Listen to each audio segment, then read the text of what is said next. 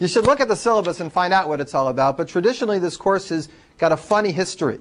Discrete math is a hodgepodge of different topics. Welcome to Lecture 1.1, Basic Set Theory.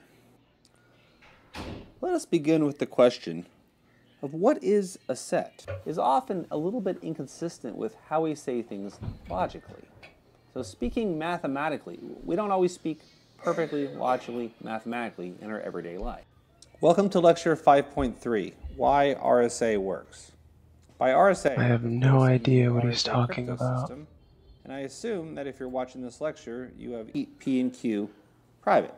And the idea being is that factoring a large number into primes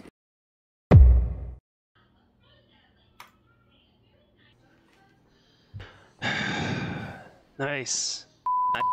Nice.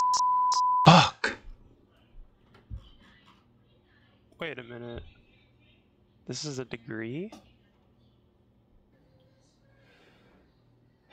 Well, that was easy.